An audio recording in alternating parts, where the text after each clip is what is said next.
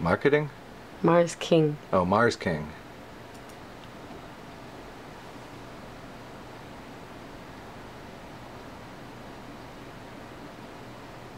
Oh, my old online alias. So this would be about 1988, 89, or 90.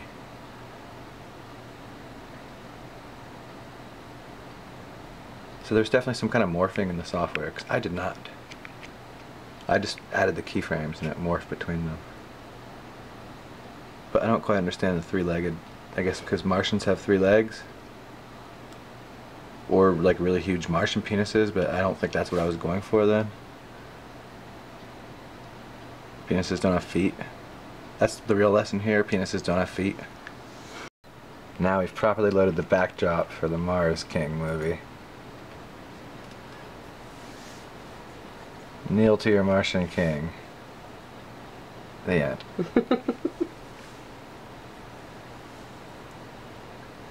and uh, what's in the sky? The sun, two moons is probably uh, fear and loathing out there, and then uh, I think that's probably the Earth and the moon. So there you go.